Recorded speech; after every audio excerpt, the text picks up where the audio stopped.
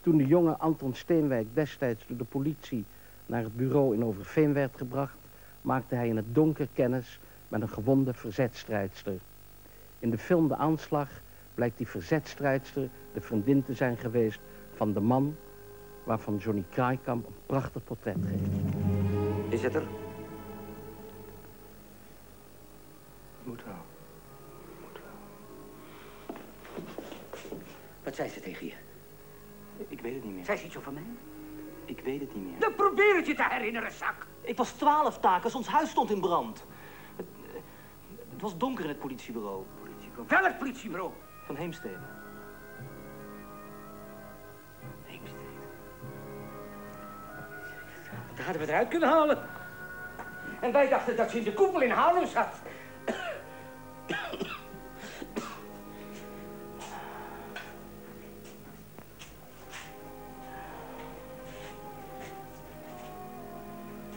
Heemstede.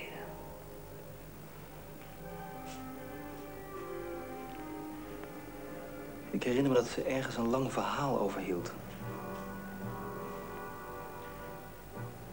Het liefst zou je me nu vastbinden en het uit me slaan, hè?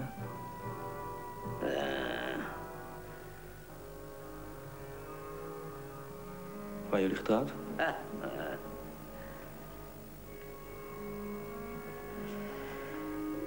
Ik mijn vrouw en kinderen zo voor de steek gelaten.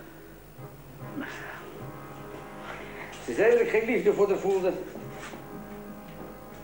Maar dat het de opwinding was van het illegale werk.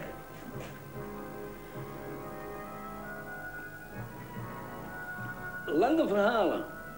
Daar was ze goed in. Op een keer discussieerden we erover om de kinderen van Zijs in kwart te gijzelen. Of dood te schieten. Daar was het tegen.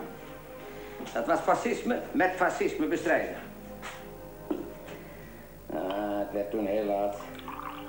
En het was zo donker. En zo mistig. En ze verdwaalde. Ze is toen op straat gaan zitten. Tot het weer licht werd. Ik heb geloof ik wel eens gedroomd over zoiets. Vergeleken bij haar was ik een boerenhufter. Al deed ik wiskunde. Ze was een filosoof.